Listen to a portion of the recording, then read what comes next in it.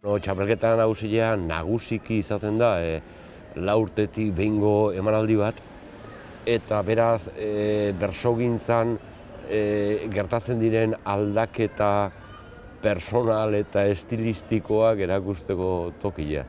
Gero, txapel bat eman berri izate da, eta ba, bueno, e, batio besteari emate zaio, baina txapelketa nagusiak batez ere hori suposatzen du. Laurtetik behin egiten da, eta laurteko tartea bada nahikoa, e, evoluzio personalak, e, persogintzaren evoluzioa eta holako gauzak ikusteko.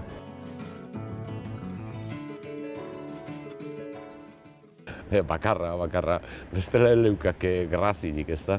Txapela bakarra eta, bueno, eskerrak jende askori, ez da? E, azken batian, esate baterako bekeko sarrera kainazkar agortu izanak erakusten du jendea desiatzen da. E, euskerazko, e, euskera utzezko ekitaldi batean e, han egoteko. Entzute ditugu Katalunian, da ikuste ditugu Kataluniako irudiak eta badirudi Euskal Herrian ere badagola gozea, e, gutxienez e, amalau mila elkartu eta alako liturgia puntu bat izan dezakeen e, zerbait konpartitzeko, ez da.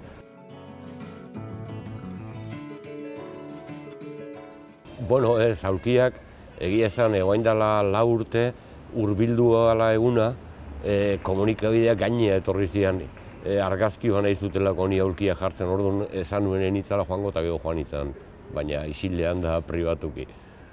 Aulkia jartzearen metafora bat ere bada. Uste dut hemen egotea ere aulkia jartzeko modu badala, aulki honetan egotea.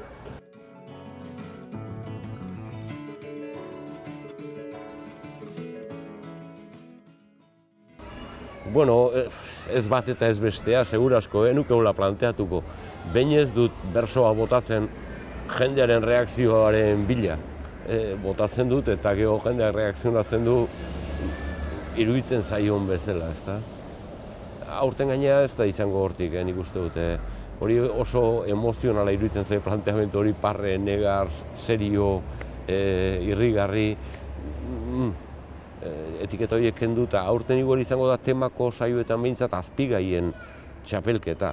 E, gaia iradoki eta beste bidezi hor bat hartu bersolariek gai horrek iradokitzen duena ez zaielako akaso aski.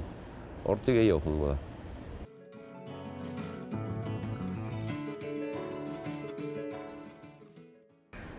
Nolakoa zaren, ez da, nik asko gozatu izan dut txapelketetan batez ere prestakuntza garaian, eta gero holtzan, ba, bueno, urduritasuna izaten da, baina nik ez dut hola bereziki sufritu izan txapelketan.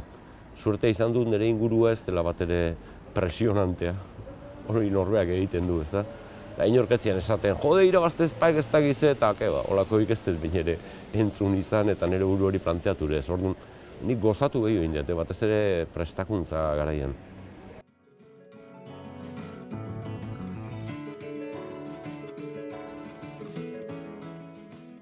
Bai, aldatu dira, jo, e, asko gainera. E, estadistika horri e, buelte ematea ikaragarri esanguratsua da.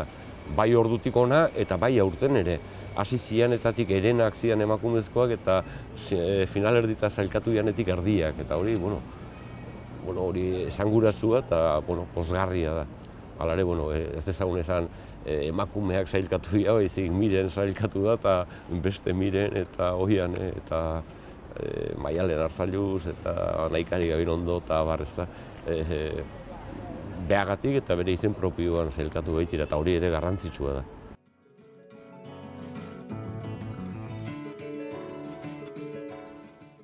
Bat adibidez zahartu indela, oso txapelketa zaharra dau.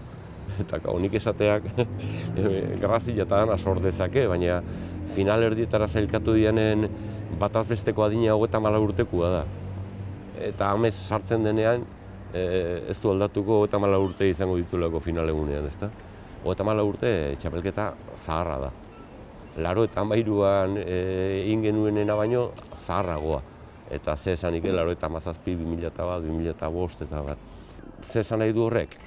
Ba, bueno, garai batean gertatzen ziren emeretzi urteko bat finalean sartu eta holako ikestara gertatzen. Aurten gazteena ere ez da ingaztea, hogeta urte dauzka eta hurrengoako eta zei edo.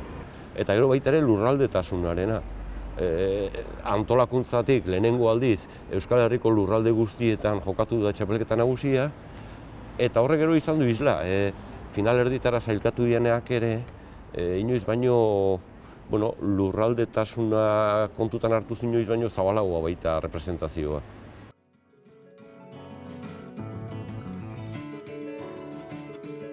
Ez, ez, ez. Lehen ere ez dut inoiz porraik egin izan, e, iruditzen zait, bueno, tabernarako ondo daola, edabidei beti gustatzen zaiela, baina, bueno, egia esan gu porra bakarra egiten genuen eta hori amurri hona egiten genuen sortzi finalisten artean, eta, bueno, jolaz politia izaten zen, e, e, aspaldin ez dut egin, buruan jakina baditu dela izen batzuk, eta nundin ora jo dezaken txapelketak, eta gauzai baditut, baina, bueno, holtzak ditut, eta badakit asko ibili naizelako behaiekin, e, ba, bueno, batzuk aukera gehiago dituztela, baina inork ez daukala egun txar batetik libre oteko e, ziurtasunik eta beste batzuk e, goia joko dutela eta ez, ez, ez, ez arriskatu hobe da.